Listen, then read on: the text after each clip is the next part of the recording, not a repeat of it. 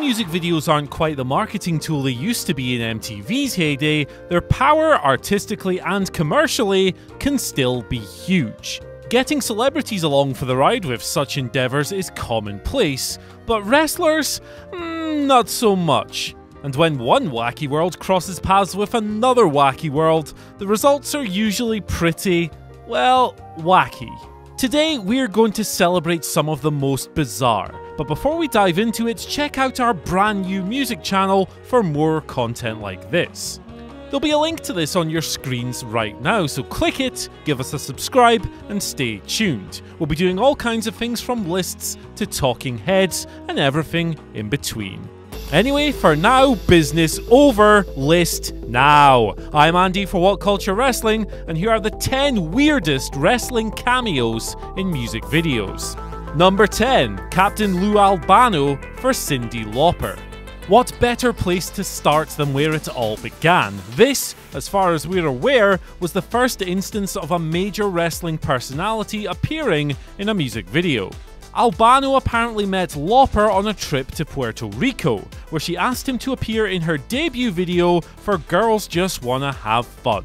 This trend continued and they kept collaborating when Lou played a background cook for all of 2 seconds in Lauper's follow up time after time, but the video for her third single, She Bop, took an unusual turn.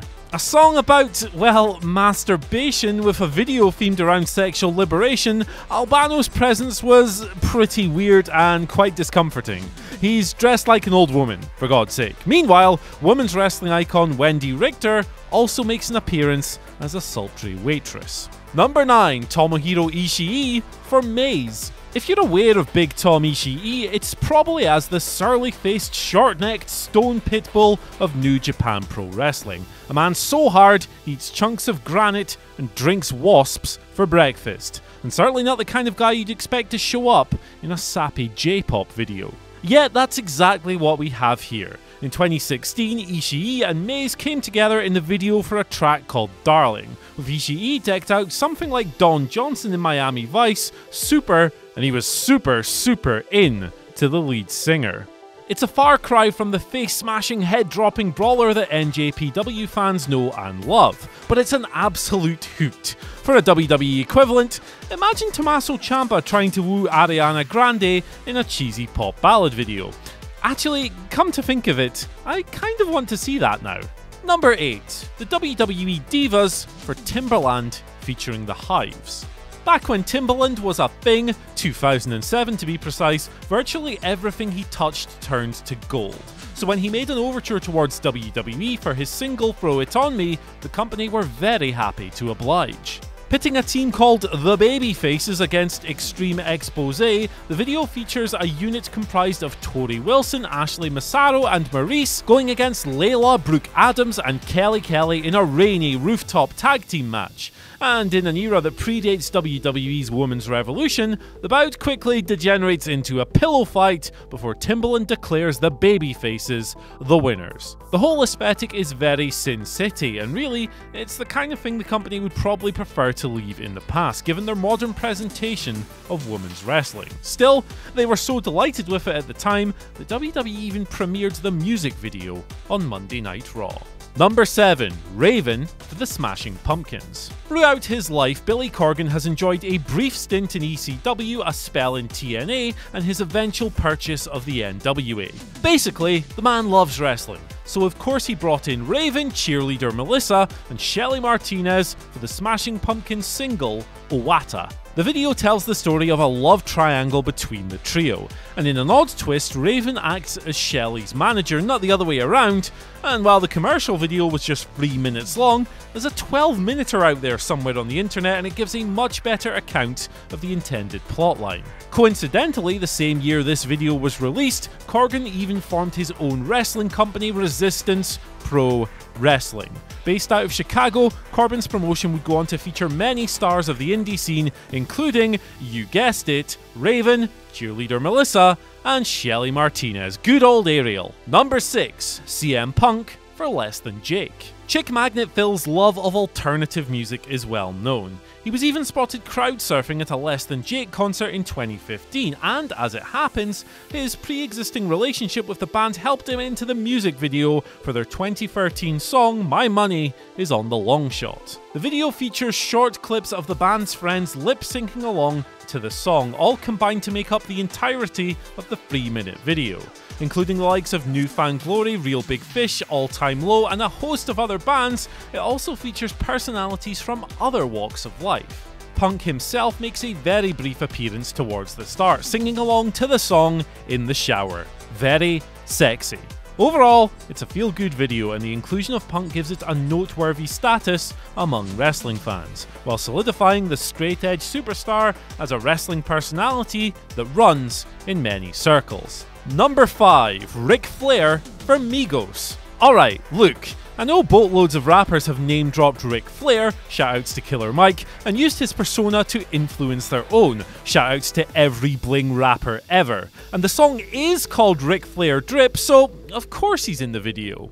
But it's still Ric Flair in a Migos video, man. I repeat, Ric Flair, Migos. That's ridiculous. It's really, really weird and quite surreal watching this elderly version of the Nature Boy flashing bling, gyrating, and going woo with the Georgia trio, and really, it's a fitting tribute to the dirtiest player in the game.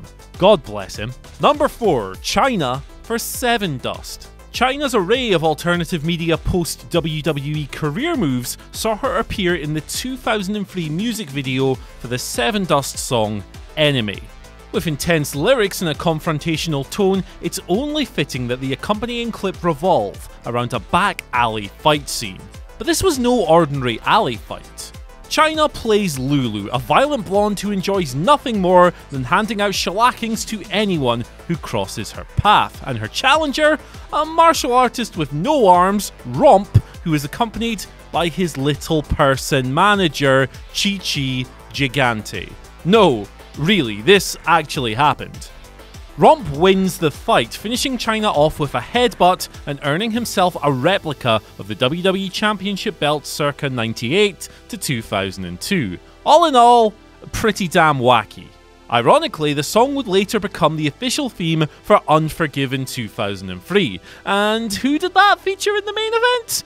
Triple H, Chyna's boyfriend, the whole reason she left the company in the first place. Good.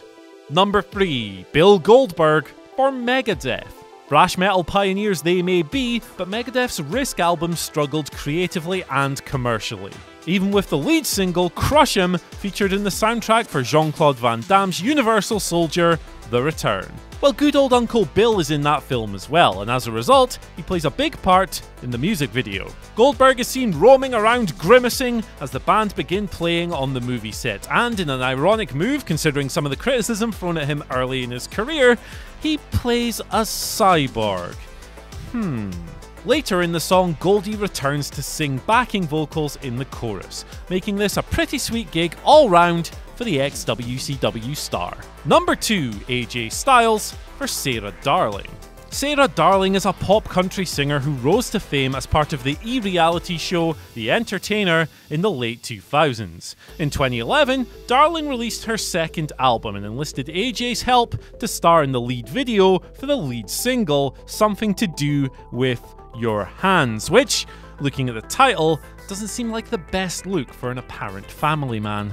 The result was Styles being cast as a plumber. He arrives at Miss Darling's house in order to provide handyman duties after she has purposely broke several appliances as an excuse to invite him over. Now, while that synopsis and song title could easily be applied to countless dodgy DVDs found in your dad's secret stash, the video itself is the complete opposite and about as exciting as a Baron Corbin chinlock. But what's worst of all is that the song is so annoyingly catchy that if you go out of your way to check Styles' appearance out, you're almost certainly going to have the damn thing stuck in your head for the rest of the day. But on the bright side, could be worse. Could be Baby Shark, and yep, that's now in my head as well. Brilliant! And number one, The Ultimate Warrior for Phil Collins. The 1980s were a curious decade for music videos. Michael Jackson became a zombie in Thriller, Peter Gabriel became just about everything in Sledgehammer, and Dire Straits slipped into 3D for money for nothing.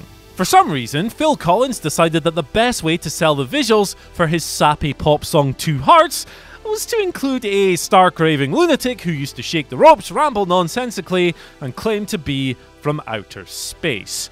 Hmm. What became of the venture is 90 seconds of optical sludge that's more than enough to cause momentary mental paralysis. Load the spaceship with rocket fuel, indeed. The warrior enters the video about halfway through by awkwardly swaying to the beat of the song before beginning his beatdown on the Genesis Man. Collins himself is decked out in red and white wrestling attire adorned with hearts, which is seemingly the only logical tie into the song that he's supposed to be promoting. Needless to say, Mr. Collins is no athlete, and he kind of makes James Ellsworth look like Ricochet. But while old man Phil isn't the one taking the bumps in the video, the warrior himself is clearly the one dishing out the punishment, all of which leads you to believe that there's a stunt guy in there somewhere missing a few teeth and a few brain cells with a great story to tell. If he can remember it.